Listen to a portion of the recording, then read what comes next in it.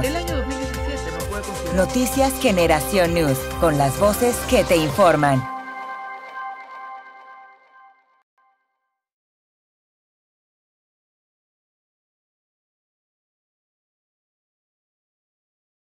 Amigos de Noticias Generación News, ¿qué tal? Les saludamos Ray Cruz y Carlos Chardón a esta hora de la noche con ustedes, bueno, y de la tarde, si nos escuchan, si nos están viendo en el área oeste de los Estados Unidos, es un poco mucho más temprano, así que gracias a todos los que nos ven a través de nuestras plataformas de Noticias Generación News, en nuestros canales de Facebook, en nuestros canales de YouTube siempre en sintonía con nuestro análisis. Vamos inmediatamente a analizar, pero antes le doy las buenas noches a Carlos Chardón. Carlos, ¿cómo te encuentras? Muy bien, Ray. Muy bien, muchas gracias. Bueno, Carlos, eh, esta noticia que parece más que una noticia, una novela, hay que, hay que tocarla porque veo que varios medios la tienen en titular. Eh, BBC la tiene en titular, la tiene en titular Fox News también. Eh, Google News también la tiene en titular y es que la actriz de películas pornográficas y la, la, la identifico así porque así es como también la identifican. dice, un juez ha ordenado a la actriz porno Stormy Daniel reembolsar al presidente Donald Trump los gastos legales después de la, la demanda de difamación que ella presentó en contra del presidente.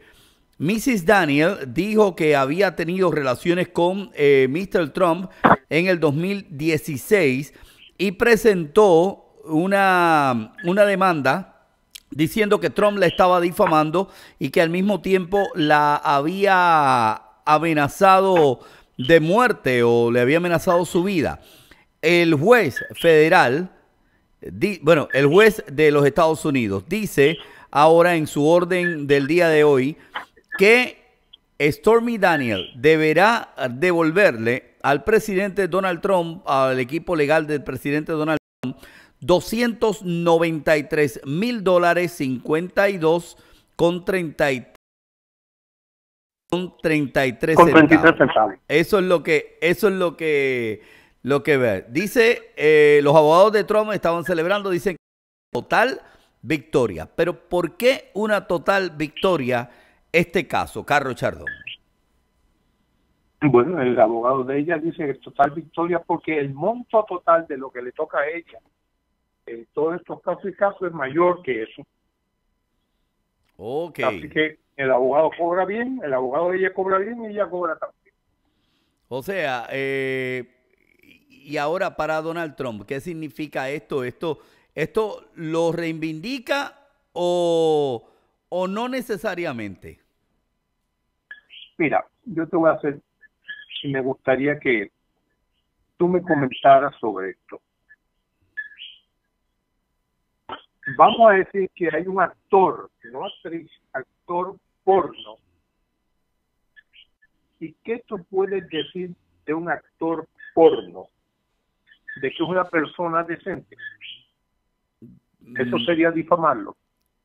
Eh, bueno, un, un actor porno no, bajo lo que nosotros conocemos, nuestro concepto, no se consideraría, o por lo menos yo no lo consideraría un, una persona decente. Y entonces, pudiera entonces un actor porno difamarnos por decir que es una persona decente. Demandarnos. Correcto. Eh, podría, podría tratar de, demandar. O sea, Stormy Daniel, eh, entiendo el punto por donde vas, porque a la misma vez que estaba demandando a Trump por difamación, estaba haciendo shows en Las Vegas desnuda. Bueno, claro, porque ese es el negocio de ella. Un negocio y al cual ella tiene perfecto derecho. Ahora, las personas pues que juzguen como les dé la gana, ¿eh?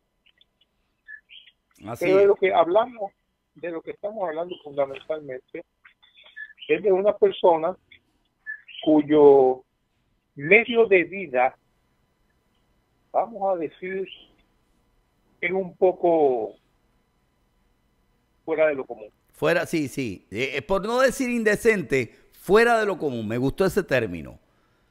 es fuera de lo común. Fuera de lo común. Oye, déjame saludar a esta hora antes de seguir con el análisis a David Pérez desde Hialeah en eh, Miami. Saludos este, a David Enrique Montejo, dice saludos desde Iliana. Eh, Ortiz Milet Mildred dice saludos Ray y Carlos Chardón desde Ponce. Eh, Ruth Osorio dice bendiciones. Esteban Leno Reynoso dice eso le pasa por hablar tanta M de Trump. Quiere sacar las cosas donde no la hay. Eh, dice, y déjame ver, Arián Acosta dice, no encuentran qué más inventar de Trump. Eh, David Pérez nos envía saludos. Fernando González Haya presente aquí desde el Guayabal en Juana Díaz, Puerto Rico. Y eh, Wanda Soto que dice, qué lindo, oigo un coquí. Ese es nuestro tercer analista, el coquí, que siempre lo tenemos en el, en el show. Así que, que eh, eh, un punto. Bueno, ahora el, el punto es que es una, legalmente, Carlos, que es una profesión indecente. No, no, indecente no lo puedes llamar, es una profesión no común. No común, sí. Vamos a, yo diría, vamos un poquito fuera de lo común. Ok, ok. Pero ¿por qué es el cargo que se le está haciendo a ella? Pues al perder el caso de difamación, Trump tiene derecho a resarcirse de los costos de abogado de defensa que él incurrió. Ok, o sea... Y Trump dice que incurrió en medio millón de dólares, tal vez más, pero la Corte le reconoce que tiene derecho a 273 mil, que 93 mil, que esta señora tiene que devolver. Claro, porque la demanda eh, fue eh, sin ningún eh, sentido o frívola, no sé cómo llamarle. Generalmente cuando estas cosas se dan, se llaman demandas frívolas. Sí. Como frívola en la vida de esta señora. Claro, y ahora le toca, entonces le, le toca, eh, yo espero que no haya gastado el dinero, porque si gastó el dinero, este, el dinero, el dinero que le habían adelantado de la campaña, ¿te acuerdas? que yo creo que era un poquito menos. Eh, pero vamos a ver, vamos a ver, ya la señora esta se las arreglará. Ok. Esta señora es como los gatos, que no importa cómo tú lo tires, caen de pie. Ok, ok. Así que hay que admirarle eso. Hay que, hay que, dárselo, hay que dárselo. Bueno, y a quien, a quien no sé si hay que admirar, Carlos, y esta noticia sale recientemente, tú le has dado mucho seguimiento y yo le doy seguimiento también esta noche, es a la vicepresidenta, jefa de finanzas de la compañía de telecomunicaciones Huawei, que recibió durante el día de hoy de un tribunal canadiense el derecho a la fianza. Meng Wanzhou fue arrestada el primero de diciembre y podría ser extraditada a los Estados Unidos para enfrentar cargos de fraude relacionados con la presunta violación de sanciones contra Irán. Un juez de Vancouver en el día de hoy fijó una fianza de 10, eh, dice, yo, yo no sé si son 10 millones, Carlos, porque... 10 millones, oye, 10 millones de dólares canadienses, que es más o menos 7 millones y medio de dólares americanos. Ok, es 10 millones de dólares canadienses son un montón de dinero. Correcto. Y entonces, pues, una de las cosas que dice la noticia es que ella puso la vivienda que ella tiene en Vancouver, el, el esposo puso los bienes adicionales que tiene y amistades pusieron el resto de los bienes para sumar la fianza de 10 millones de dólares canadienses. De ella decidir. Y entonces al mismo tiempo va a estar vigilada. 24 horas. Para que una señora que claramente el padre es tiene miles de millones de dólares, pudiera enviarle un, un avioncito ella montarse en él y ella volver a la China. El problema es que si vuelve a hacer esto, Estados Unidos la va a estar siguiendo y Canadá quiera que vaya. míralo. que se va a tener que quedar en Vancouver. Hay algo, hay algo, Carlos, que no estoy entendiendo bien en la noticia, ¿verdad? Porque la orden la pone el, gobierno de Estados Unidos, una corte, un tribunal de Estados Unidos la, la, la quiere para extraditarla y dice que eh, ella estará bajo vigilancia las 24 horas del día y deberá llevar un grillete electrónico en el tobillo. Pero también la nota dice, el presidente Donald Trump dijo que está willing, está, o sea, eh, dispuesto a intervenir en este caso.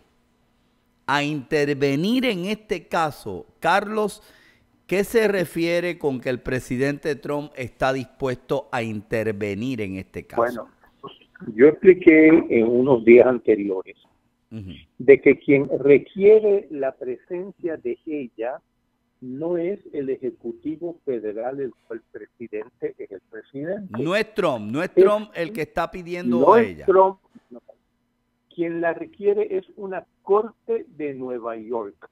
Ok. Donde se hizo esa denuncia y esa corte es la que la requiere. Así como podría intervenir el presidente el presidente puede determinar que si esta es una corte federal, que entiendo que es federal para poder ejercer el derecho de ah, extradición, el presidente puede perdonarla a ella de cualquier pecado. Indultarla. Indultarla. Eso pudiera ser una de sus alternativas. Dice la noticia del BBC que las relaciones están agrias en este momento entre China, Canadá y Estados Unidos. En momentos donde Estados Unidos había mejorado después de la reunión del G20 las relaciones con China. O sea, ¿tú crees que eh, hay mucho en juego y, como para que el presidente esté dispuesto a perdonarla y no perder todo lo que hay en juego? Tiene que haber mucho dinero en juego, más nada. Okay. ¿Cuál es la alternativa? Acuérdate también yo hice el comentario de que al otro día de esta señora ser detenida, en China se prohibió la venta de ocho teléfonos diferentes de Apple. Hmm. Esto puede ser que sea de lo estamos hablando. Le están mandando un mensaje los chinos a Estados Unidos. Porque, eh, de la misma manera, las excusas que ha dado el presidente para no atacar, atacar a Arabia Saudita por la muerte del periodista Khashoggi, que es las compras de armamento que hace Arabia Saudita a Estados Unidos. Por eso fue que yo comencé este comentario que tiene que haber mucho dinero envuelto. Mucho dinero envuelto eh, y mucha presión también de la economía de, los, de, de los empresarios en Estados Unidos. Oye, estamos hablando de compañías cuyos ingresos son mayores de los que tiene Puerto Rico en un año. Sí, sí. Completo, sí, que, que la economía de compañías que, que tienen mucho más dinero que muchos estados. Correcto. Ah, las compañías son los nuevos países. Ok. Es importante que lo entendamos. Yo sé que muchas veces nos quejamos de las corporaciones gigantes de los de los hedge funds. Sí, pero eso es lo que mueve la economía. Esos son los que dominan la economía mundial.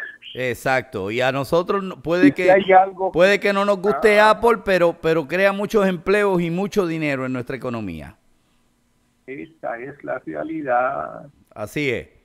Así es. Bueno, Carlos, y, a Macron en Francia, ahora, o para completar, para completar, Carlos, hace eh, un, un, par de, horas, eh, no mucho, se confirmó que al menos dos personas murieron y otras 12 resultaron heridas en un tiroteo en la ciudad de Estrasburgo. Estrasburgo. Estrasburgo es una ciudad que queda al noreste de, vamos a decir, de, queda al noreste de París, bien cercana a Alemania. Ok. Pues aquí dice que dice un piloto, un pistolero conocido por los, por los servicios de seguridad está huyendo y está siendo cazado por la policía. Había sido herido en un intercambio de disparos con un soldado, dijo la policía. El, tío, el tiroteo ocurrió cerca de un mercado navideño, cerca de una de las plazas centrales. El fiscal antiterrorista de Francia ha abierto una investigación confirmando que el número de muertos había aumentado a dos. El ministro del Interior francés, Christopher Castaner, quien se dirigía a la ciudad, lo calificó como grave incidente de seguridad pública. Se dice que seis de los heridos están en una condición grave, mientras otros seis sufrieron heridas leves, dijo la policía. O sea, lo han catalogado como otro acto terrorista en Francia. Análisis, Carlos, reacciones en medio de todo lo que está pasando Emmanuel Macron. Bueno, esto definitivamente cuando las situaciones son críticas en el país, hay la tendencia a que algunas personas como este, que claramente este hombre tiene un récord delictivo, ¿eh? que personas como este pues se, se desboquen no parece ser lo mismo que lo que sucedió en Campiña, que es una ciudad en el estado de Sao Paulo, Brasil, donde un hombre entró a una catedral, mató tres personas y se suicidó. Casi al mismo tiempo que esto sucedía en Francia. Brasil también está pasando por una situación sumamente difícil que es la transición del gobierno de Bolsonaro, del gobierno de izquierda al gobierno de Bolsonaro. Estas situaciones se dan generalmente cuando hay tensiones en el país y algunas de las personas no pueden resistirlas y el resultado es este. No quiere decir que no haya una acción por parte de ellos, sí son asesinos, pero la tendencia es de que estas situaciones tiendan a aflojarle cualquier control que puedan haber tenido las razones por las cuales el mundo hicieron anteriormente. Ok. Bueno.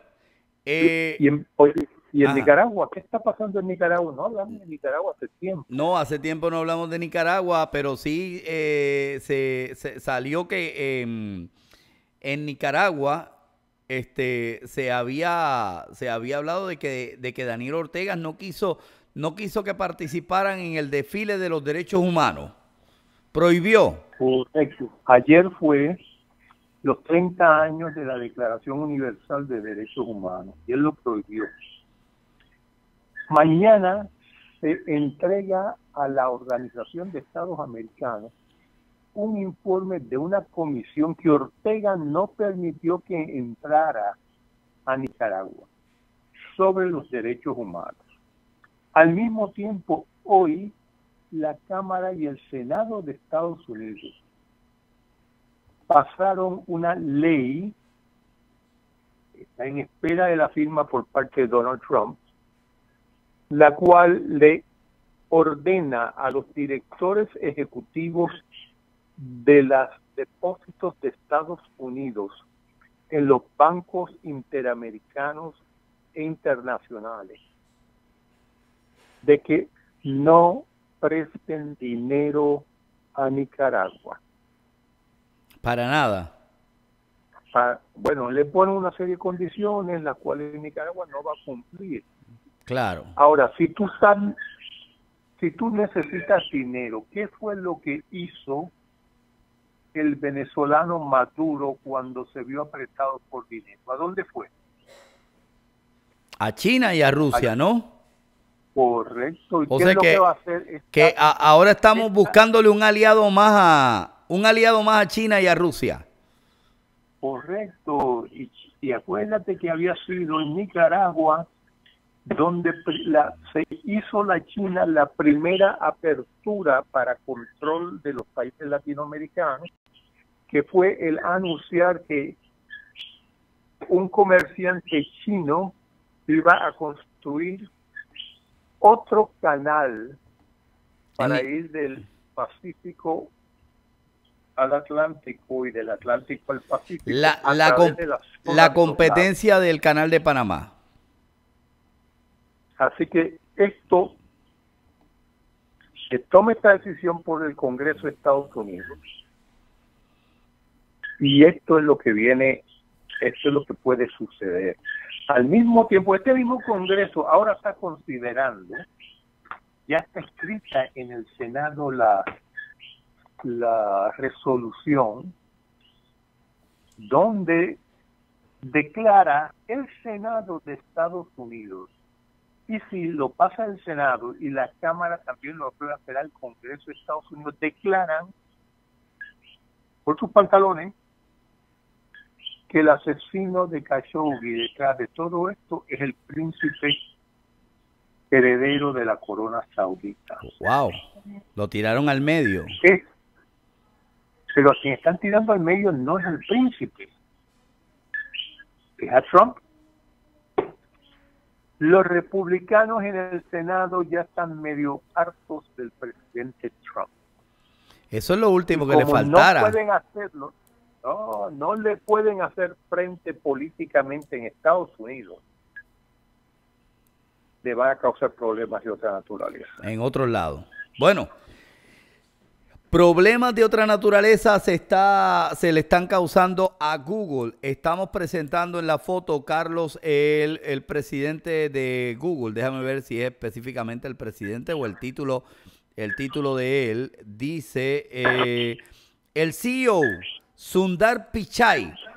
Eh, Sundar Pichai. Pichai en el día de hoy refutó las alegaciones de que Google había intervenido a favor de del voto demócrata hacia los latinos y que había alterado su plataforma. De hecho, va a una mujer de nombre eh, Eliana Murillo. Eh, se, le, se le sacó varias cartas, varios correos electrónicos que había compartido esta mujer, Eliana Murillo, la directora de Google del área multicultural de mercadeo. Ella había tenido una iniciativa junto a Univision y a otras organizaciones para conseguir votos latinos. Ya tú sabes, y estaban empujando hacia el lado demócrata. En un correo electrónico de Eliana Murillo, ella dijo que sería eh, desastroso que los demócratas no ganaran. Dijo en un correo electrónico, estamos empujando a sacar el voto latino porque nuestro, nuestro futuro está en juego decía ella en, el correo electrónico, sería devastador para nuestra democracia y los latinos que no salgan a votar. ¿Qué pasa? Eh, dice hoy el presidente del CEO de Google, nosotros como compañía no tuvimos ningún esfuerzo para empujar los votos a favor de ningún grupo demográfico en particular. Eso sería contra nuestros directores. Participamos o contra nuestros principios. Participamos en el proceso cívico de manera no partidista, dijo Pichay.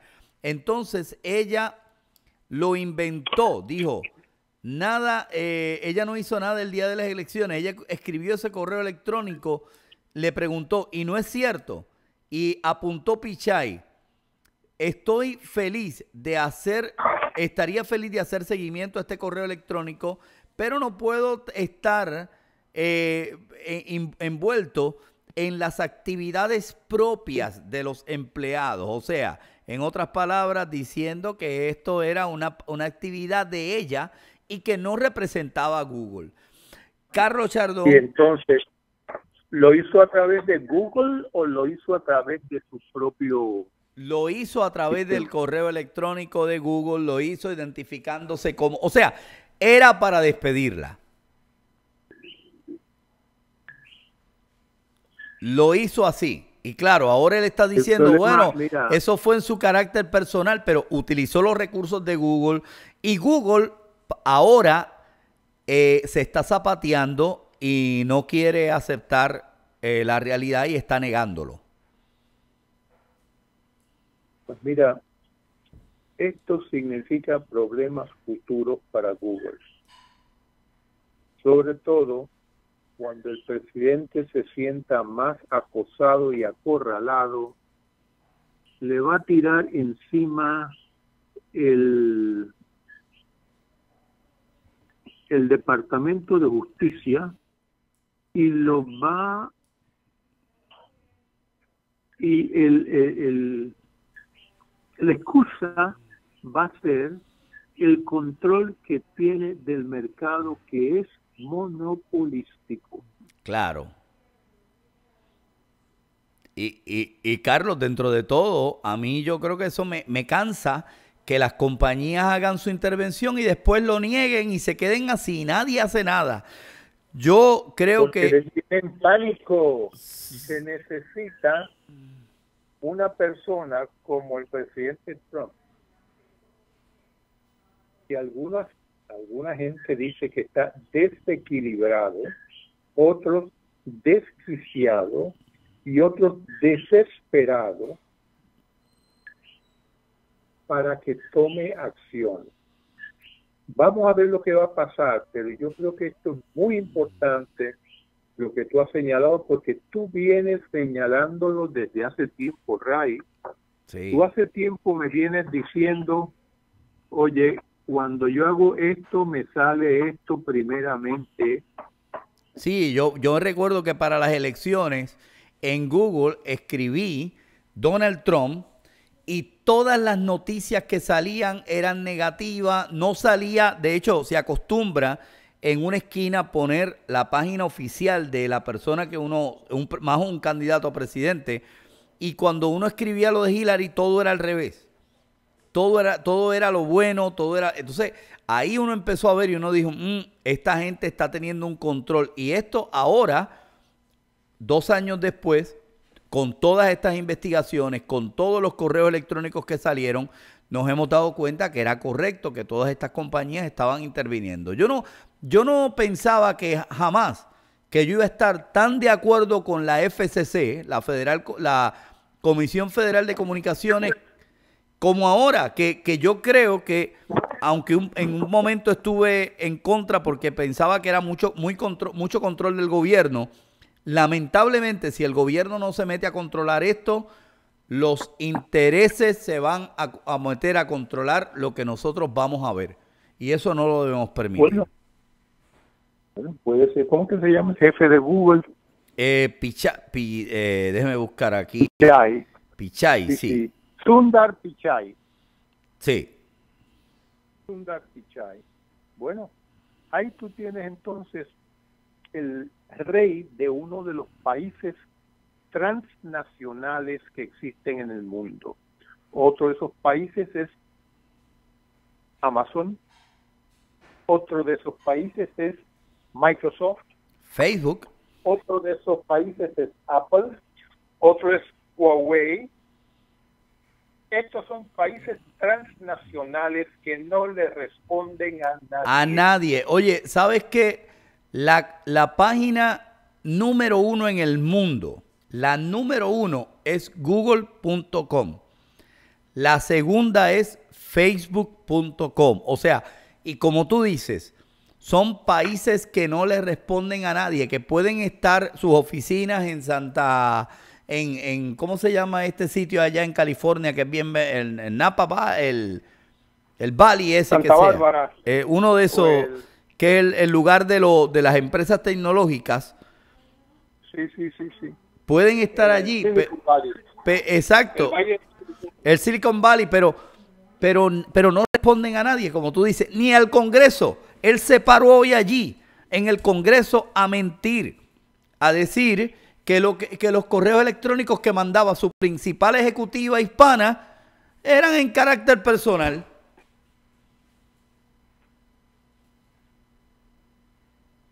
Increíble. Las leyes van a tener que variar. y hacer responsables a las corporaciones. Así es. Porque yo te, yo te aseguro de que están sumamente bien blindados por las leyes que ellos mismos hicieron que se pasaran. Porque no son ningunos niños, ¿eh? Así es, así es. Bueno, vamos a ver, Carlos, ya llegamos a la parte final del análisis en el día de hoy. Te agradezco siempre eh, todo, toda la visión que nos das de lo que está pasando en el mundo. Ray, lo único que no hemos hablado es periodista. ¿Quién es el hombre o la mujer del año para Time Magazine? Ah, espérate, déjame buscar eso. Eso yo, eso yo no lo tengo. Eso yo no lo tengo. déjame buscar Time Magazine. ¿Ya la seleccionaron o lo seleccionaron o no? Los periodistas que han desaparecido. Por supuesto, se refiere a Khashoggi y todos los que están nacionalmente. Pero ahí tenemos nosotros que incluir en la primera semana de la presidencia de Andrés Manuel López Obrador mataron a dos periodistas en México. México es uno de los países más peligrosos para periodistas. Claro, pero nosotros nos enfocamos en el del príncipe árabe. Por eso es, y yo lo quiero señalar, la labor que tiene el presidente es sumamente difícil. Y el único otro elemento que mañana vamos hablaremos con más detalle es qué va a pasar en Gran Bretaña, en el Reino Unido, porque la primera ministra decidió que no lleva a votación lo que contrató con el los gobiernos europeos. ¿Por qué? No tiene los votos.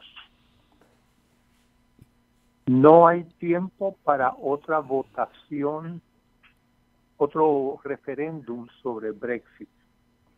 Requiere 22 semanas y esto es una decisión que tiene que tomarse rápidamente. ¿Y qué pasará ahí, Carlos?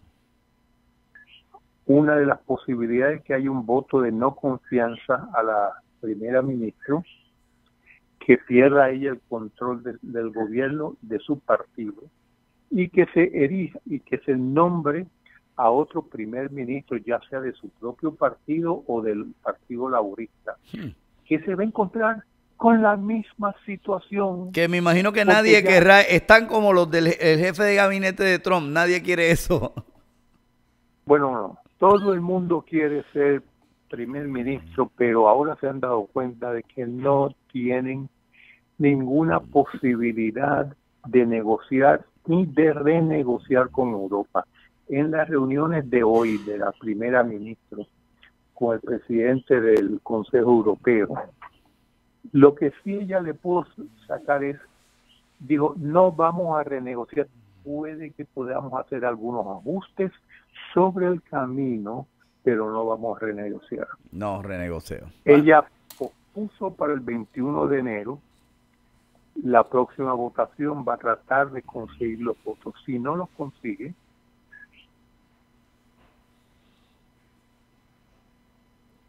si no los consigue, Gran Bretaña de eh, el mercado común, sin un acuerdo, lo cual sería desastroso para los mercados internacionales.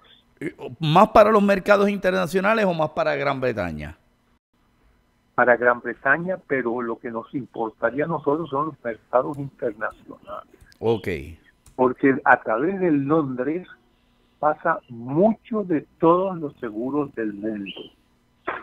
Londres es un centro de finanza internacional. Y si se cae eso, mucha gente se puede quedar sin cobertura de seguro. Pudiéramos encontrarnos en una situación sumamente difícil. Claro, o compañías que no podrían negociar porque no tienen acuerdos con nosotros. Precisamente, lo, lo que se llama el reaseguro es uno de los negocios principales que tiene Gran Bretaña. Claro, entonces muchas compañías quedarían sin la cobertura del reaseguro y tendrían que asumir ese riesgo ellos mismos. Esa es una de las posibilidades. Wow. Algo van a encontrar porque hay tanto y tanto dinero Sí. que algún ajuste van a encontrar. Algo harán, algo Pero harán, esto es lo que se está jugando allá. Y lo estaremos viendo durante la próxima semana. algo Pues harán. yo creo que con esto vamos adelante. Oye, ya hay cuatro millones de peregrinos al frente de la Basílica de la Guadalupe, que mañana, el 12 es el día de la Guadalupe. O sea, Cuatro millones, esperan siete millones de peregrinos en Ciudad de México para que van a rendirle culto a la Virgen de la Guadalupe. Siete millones adicionales a una ciudad que tiene veintipico de millones. No se sabe cuál es la no, se- no, no, no, exacto, está- deben de estar todos los hoteles llenos, más la gente durmiendo en las calles. La gente está durmiendo en las calles, Así es. Bueno, como están en Tijuana. así es. Vamos a estar pendientes de esa noticia también. Gracias, Carlos, por el análisis. Hasta luego, Ray. Claro que sí, ahí estaba Carlos Chardón con nosotros en vivo a través de Noticias Generación News. Las voces que te traen las noticias.